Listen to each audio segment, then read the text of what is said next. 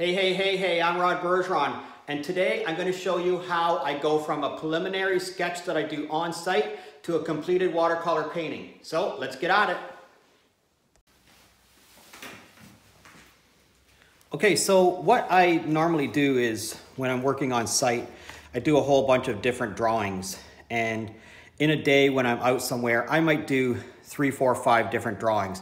I might also take a hundred photos and eliminate, you know, 90% of them and just keep the ones that I think are relevant. So here's some photos of this particular silver birch area. And you'll see that this is in Peters Woods. This silver birch was uh, dying. It was, uh, I think it's dead, but it has some really interesting root systems where you can see through the bottom of it. It was a really well lit day. So there was a lot of really nice sunshine on the ground. And so I thought I would capture it. So if we look at the sketch that I did, so this is one drawing that's sort of completed. This is another drawing that I did sometime later, um, just practicing the important elements, uh, practicing where the holes were, those types of things. So what I want to do now is I want to transcribe this using the information from the photos and the videos and my own sketches onto this piece of paper. So I've already decided that I was going to do a pen drawing and then a watercolor painting on top of that. So I'm going to just set this over to the side here. And this is just going to be for information. I, I know this area and I have this already sort of built up in my head. I have this piece of Canson watercolor paper, which is 140 pound Canson normal watercolor paper probably my favorite paper to draw on, my favorite paper to um, work on overall, right? Okay, so let's get some of this information onto here. So I'm going to think that this is about twice as high and about almost twice as wide as this thing. So everything that I'm going to make on here is going to be about twice the normal size. So this comes about halfway across the page, so I'm thinking somewhere there. So I'm gonna put my tree in, and my tree is going to just come down like that and come over in this general area like this. And there's another line that I had right beside it, and it's a different part of this. And I'm going to double up both of those lines. So I'm going to go back over both of these and I'm just going to double that up to give it some mass and some thickness.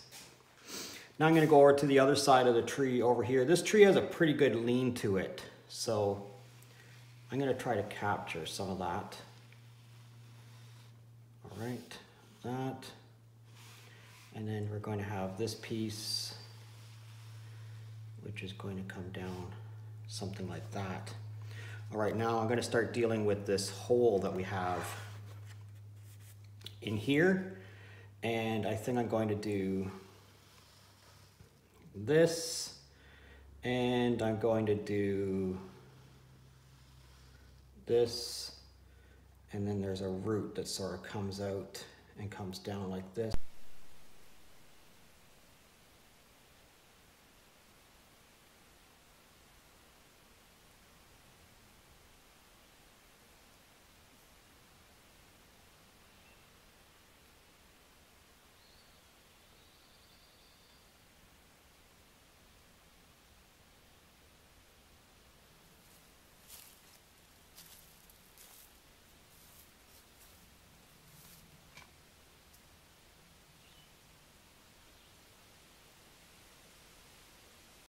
Okay, so the I've done a bunch of cross hatching in here. I've done a bunch of curved hatching in here to, you know, to give it some some curvature. One of the things that are on this tree are all of these little, um, I guess they're like uh, fungus that are growing on it. So I'm gonna put in a whole bunch of these. That's sort of the shape that they are, this curved shape with the flat bottom on it. Uh, so I'm just gonna put those in just basically the way that they have them on here is just a curve, flat bottom. And I'm just gonna go through here and put some in in some random spots.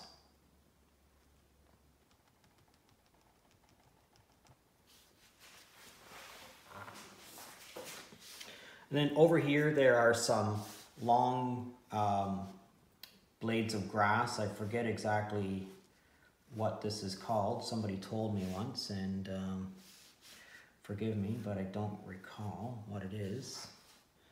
And I'm just gonna put some of this in just to fill in some areas there.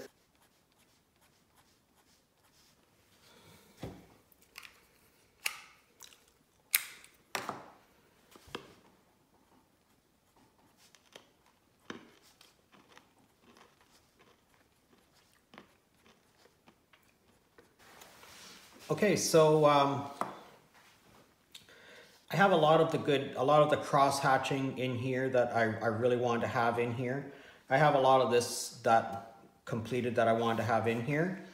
I'm gonna put in this little tree right here, but I'm gonna do it really quickly, really simply, okay? So it goes right off the page. I gotta move Darth Vader out of there, but it's going to go right off the page, okay? So I'm going to think about this. It's going to come out somewhere around here and it's going to be one continuous line right off the page. So I'm going to practice it in my head, practice it physically a couple of times, figure out where it's going to go. I'm going to move my light around here a little bit. And then I'm just going to do it in one continuous line, all right, right off the page. And then I'm going to think about putting in the other side of this little tree. And I'm gonna make this line broken a little bit.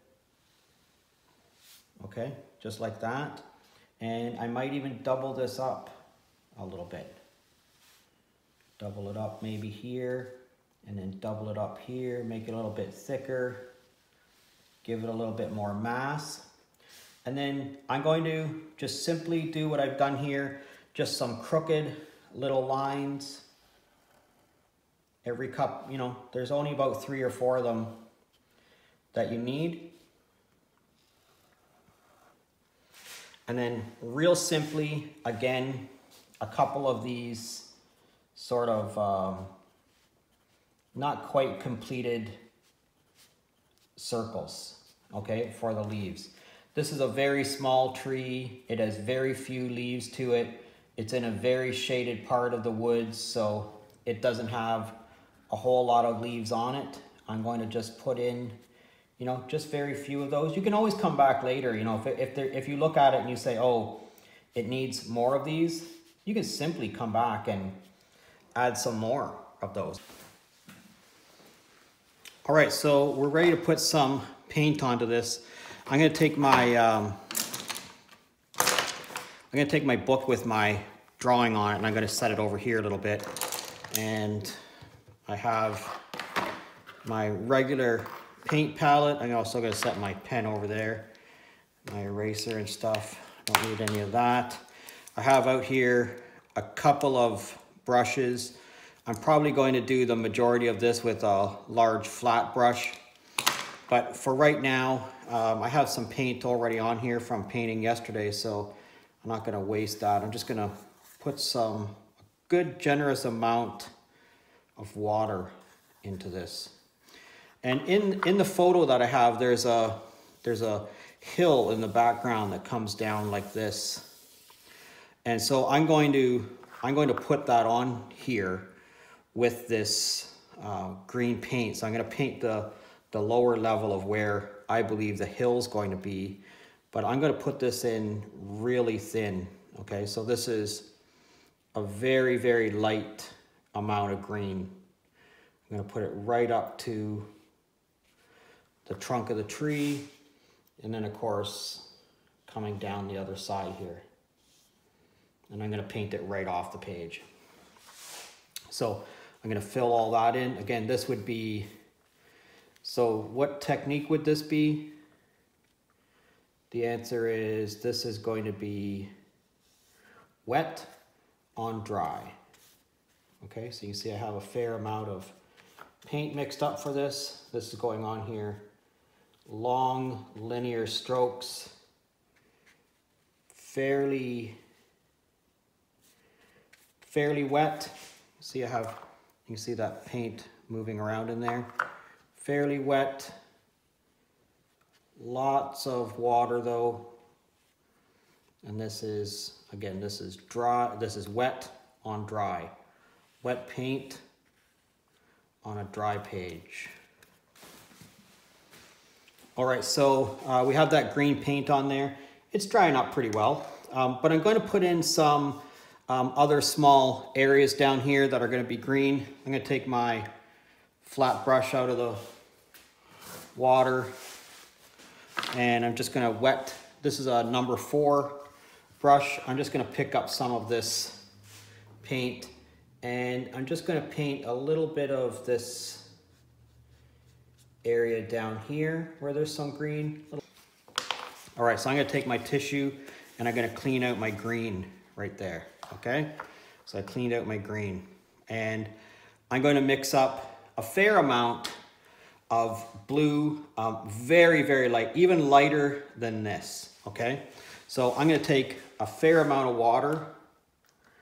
You see, I think one of the things that um, I have always noticed about my students is there's not enough water on their page. I think most people, when you first start to watercolor paint, don't use enough water. So that's about the blue that it is that I'm going for here. And I have a fair amount here, so this should be enough to fill in the background of the sky here. So I'm going to go right along the edge of this tree, right down to where I had it green. And I'm going to paint right over top of those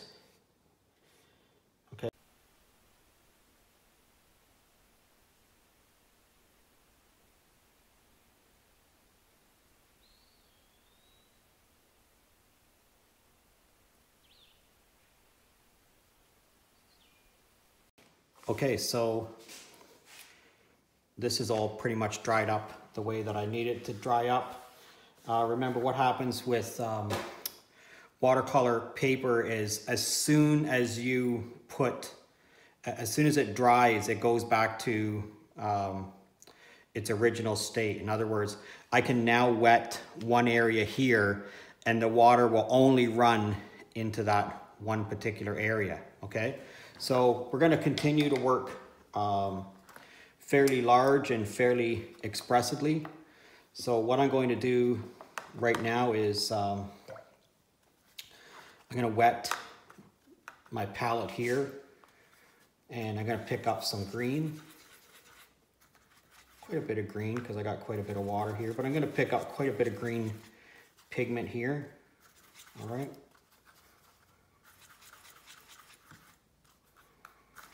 Okay. And I splashed a little bit on my page there, but that's perfectly fine. Uh, this is all gonna be covered with green paint anyway, so don't worry about it too much at this point. And I'm going to take my brush and I'm going to paint into the background here where there's going to be some trees and you can paint right over top of that little tree if you want to. If not, you can, you know, just paint around it like that. And I'm going to do the same thing down here. I'm going to paint a little bit of uh, tree where I want tree to be. And you can see I'm just wetting this. I, I was just wetting this and now I'm going to put in a fair amount of pigment and we're going to let that pigment just run into wherever it wants to go into that tree line or in, into that wet area, I should say. So hopefully it's going to create a tree line for me. I'm going to put in quite a bit more here. Remember, just wet it wherever it is that you want to wet it. Pick up a little bit more pigment here.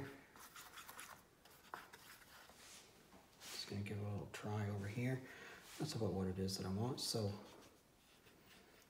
put this in like that. And you can see it's starting to move out of the area of high concentration into an area of lower concentration.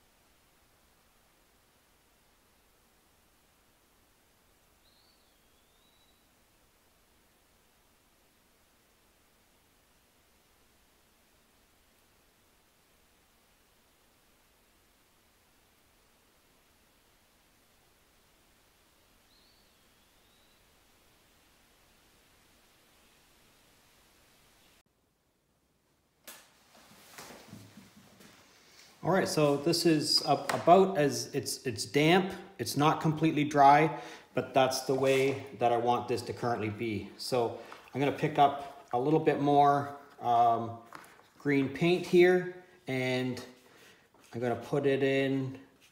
Again, this is going to be um, wet on dry or mostly dry, but this is where I'm going to start working on putting in this little bit of the dry riverbed in the background here. So I'm not, I'm not going to um, fill in all of this. Some of this I'm going to leave fairly open, uh, like that, pretty much, pretty much like that. I'm gonna take a little bit more of this darker paint and bleed that into it like that. That's sort of what it is that I'm going for. All right, so um, now I'm gonna put in um, some of these trees in the background and we're gonna do that with a, a fairly light thin wash of green. So you can see how thin that is. It's very, by thin I mean lots of water, um, not much pigment.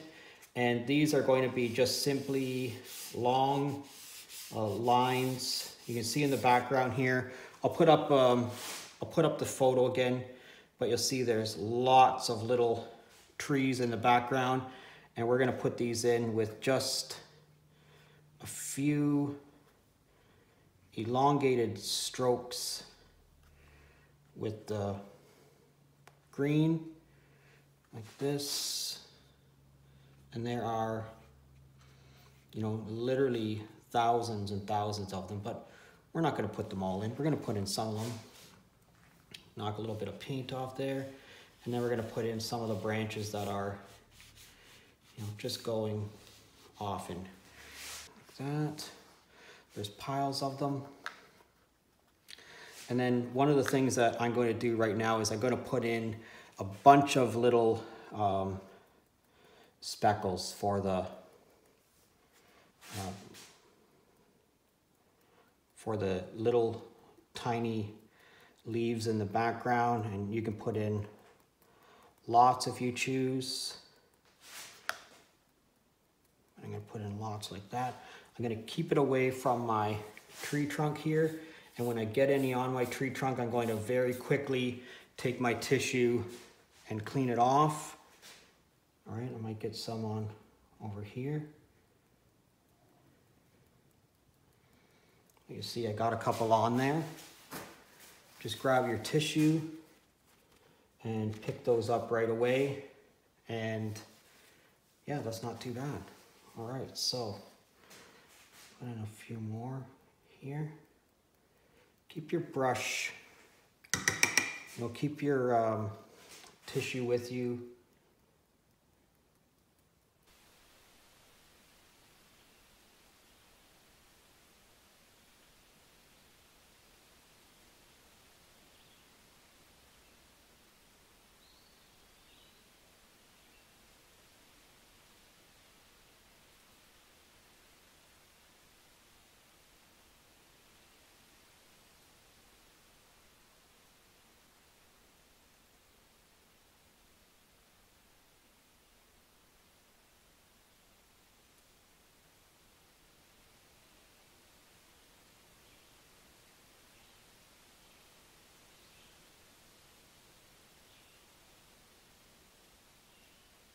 right off the bat.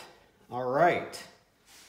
That's not too bad. That's sort of turned out the way that I want it to be. So that's good. Okay, so I think we're ready to do this tree. And this tree is going to be gray. And it's going to be Payne's gray. So Payne's gray is a bit of a strange color. It is really um, black with a bluish tinge to it. And we're going to do all of this um, wet on wet, but I'm gonna mix up my Payne's Gray first. So I'm gonna put a little bit of water in the center of this. All right. And more water than that, and more water than that.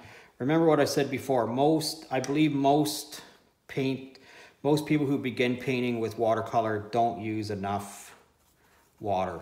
All right, so you wanna mix up a lot of water for this. And I'm going to take this tree and I'm gonna take this wet brush, or I'm gonna wet this brush, I should say, and I'm going to paint in a lot of areas of this.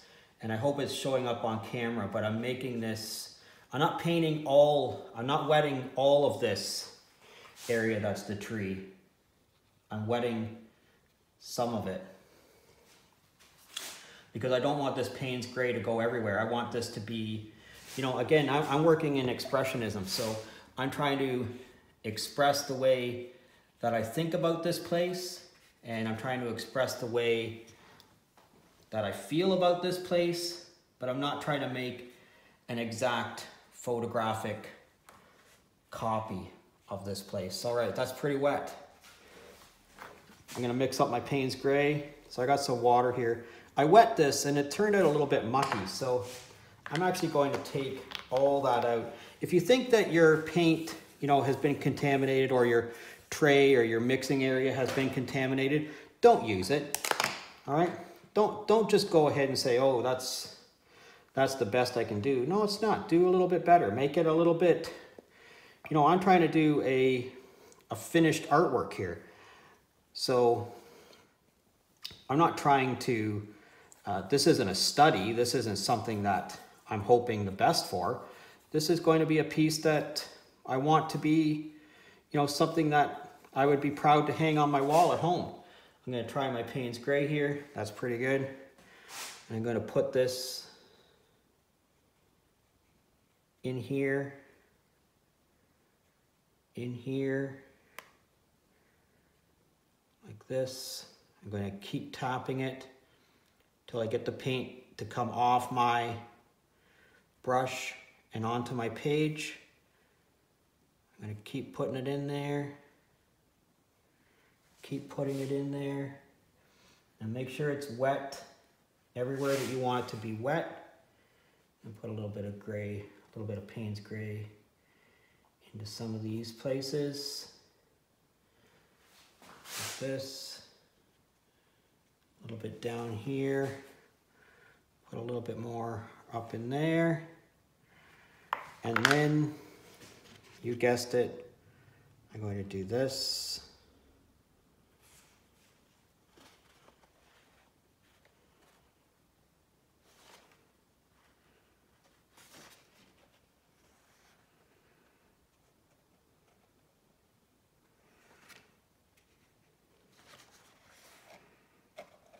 do that. Just joining the wet areas together with my fingers.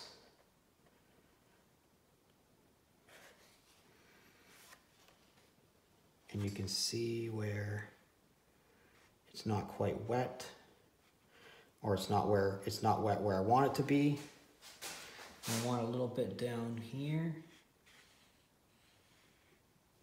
All right, move that around again.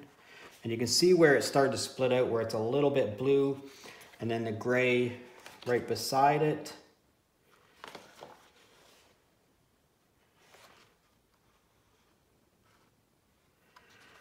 All right. And you see, I keep touching my page like that all the time with my finger just to make the one area connect to the next area. And this little tree right here, I want it to be Payne's Gray also. So I'm gonna take my brush and I'm just gonna go right up along there, right where it is. Just like that, take that out maybe. All right. Run that back down like that. And that's it. I'm walking away. I'm gonna say, that's as good as it's gonna get. I'm walking away. We'll come back and see what it looks like when it dries. All right, so that's what it looks like with the mat on it. Uh, I think it turned out all right. I really The green in the background turned out the way that I was thinking about the green in the background. The trees in the background turned out the way that I was thinking about them. The Payne's Gray on the uh, silver birch turned out exactly the way that I thought it should turn out. And so I think that's what, for me, makes it into a completed painting. If you learned anything from this, please give me a thumbs up. If you're currently a subscriber, I thank you very much. And if you're not currently a subscriber, please consider subscribing to my channel. Thanks a lot for watching and we'll see you again next time.